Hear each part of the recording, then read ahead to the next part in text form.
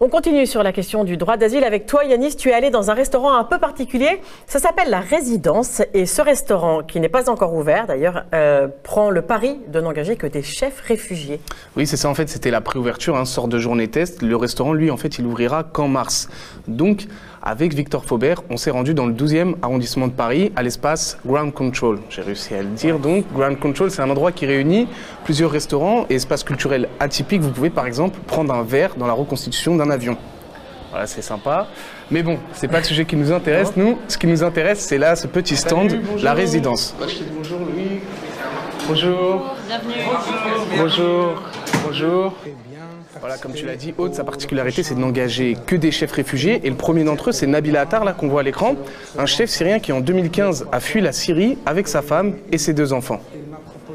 Donc vous êtes arrivé en France en 2015 alors? Fin 2015, octobre 2015. Mais vous étiez, vous étiez déjà cuisinier ou euh? Euh, J'étais banquier. Euh, banquier, j'étais le manager de, de banque, de, banque privée en Syrie, mais depuis mon enfance, j'aime beaucoup la cuisine. Donc j'ai tout quitté et j'ai pensé pourquoi pas, je, je je fais quelque chose, j'aime bien, j'aime bien le faire. Alors qu'est-ce que vous êtes en train de préparer là? Aujourd'hui, c'est caviar d'aubergine avec du euh, crème de sésame, avec un yaourt, d'ail et jus, de citron. On a mis un peu de grenade, de la betterave, un petit du chou-fleur violet ou brocoli. Brocoli, ouais. ouais. Un peu de sésame noir, sésame noir, et du la taboulé. Taboulé, c'est du, du la persil plat. Ah, c'est pas le même taboulé qu'en France en fait Non, c'est le différent. Il y a différents, euh, grosses différences. Euh, c'est euh, de, de, de, de, la persil plat, ouais.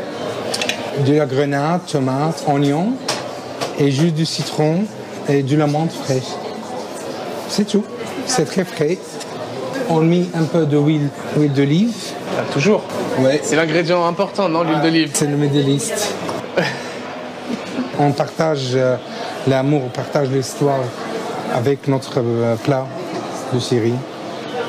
Vous allez goûter euh, et me dire, me dites que, si. Avec plaisir. Ouais. Délicieux. Et le houmous, euh, c'est complètement un autre, un autre côté de, de saveur. moi, je suis fan de houmous. Je vous le dis. C'est du safran au-dessus, c'est ça? C'est un petit de paprika. Ah, paprika. Pas. Paprika douce. Délicieux. Bon appétit. Ouais, merci.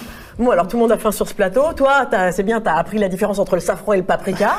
Manifestement, tu t'es bien régalé. Est-ce que c'était bon au moins? Ouais, ouais c'était très très bon. Hein. Bon, alors dis-nous quand même un peu plus sur ce restaurant. C'est l'idée de qui? Comment ça s'est mis en place? Alors pour répondre à tes questions, Aude, donc c'est l'association Refugee Food Festival qui a lancé le projet de ce restaurant. Pour trouver l'argent, en fait, ils ont lancé une campagne de financement sur Internet. Quant au chef cuisinier du restaurant, en fait, ça, va, ça devrait tourner tous les deux à six mois. Ce concept, en fait, c'est l'idée de Louis et de Marine qu'on voit à l'écran. Pour nos deux fondateurs, en fait, ce lieu doit avant tout permettre de mettre en avant les personnes plutôt que leur statut de réfugié. L'objectif, c'est vraiment d'essayer de, contribuer euh, à faire évoluer un petit peu les regards sur les personnes réfugiées, en montrant que c'est en fait des, personnes comme toi et moi qui ont des talents, des métiers, euh, des compétences et surtout tout un patrimoine euh, culturel à partager.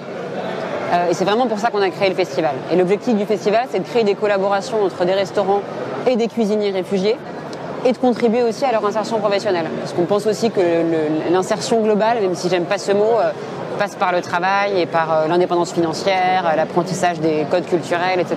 Venez, venez manger à la résidence, quoi. venez goûter les plats et venez casser un peu tous les discours, enfin toute la vision négative qu'on peut avoir sur les personnes réfugiées. Et voilà, et cet espace-là, il est là pour nous rappeler que la Syrie, que la Tchétchénie, que l'Iran, que l'Afghanistan, c'est pas uniquement des pays en guerre, c'est des pays qui ont une histoire, qui ont une culture, qui ont un patrimoine culturel. Et c'est ce qu'on essaie de raconter au travers de nos assiettes ici. Voilà, donc n'hésitez pas à aider euh, Marie et Louis via leur campagne de financement sur Internet et surtout de vous rendre à la résidence si vous en avez l'occasion parce que je peux vous le dire, c'est très très bon là-bas. on a vu ça, ouais. Euh, ouverture début mars, donc merci Yanis.